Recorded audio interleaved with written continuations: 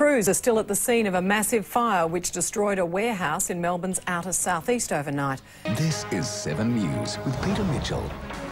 Good evening. First, one of the biggest factory blazes in Melbourne's recent history has caused more than $30 million damage at a Dandenong South transport business.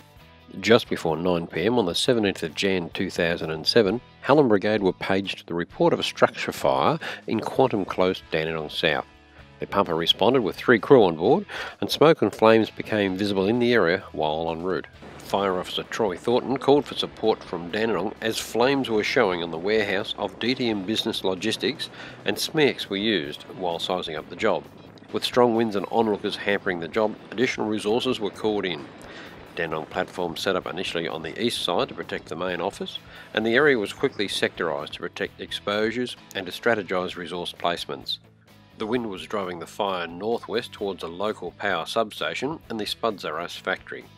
The warehouse contained many items, including large quantities of motor oils and automotive chemicals, which were alight and creating a running oil fire towards stormwater drains. An IMT was established as the fire grew in size, and vehicles were continuously relocated to maximise their efficiency. Walls were becoming unstable, and ground crews struggled with hose lines in the gusty wind. Water supplies were being taxed, so a relay of pumpers were set up from Abbotts Road. Additional foam supplies were brought in as crews tried to save a large quantity of trucks in their compound.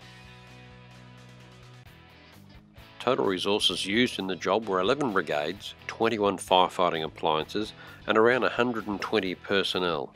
The support agencies were police, power and gas utility companies, water authorities, WorkCover, the council and EPA.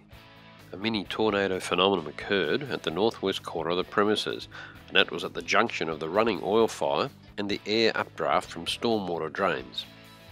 Just before midnight, an under control wordback was broadcast and a structure fire stop was placed at 1.52 am. Although the warehouse, trucks and stock were lost to a value of $30 million, all office contents were saved and only minimal damage to other exposures. 100 foot flame height through the warehouse complex and quite a lot of radiant heat.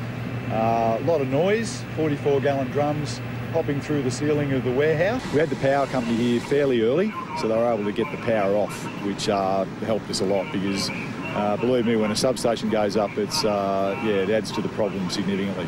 Troy Thornton said his years of training and learnings were really paid off on the night.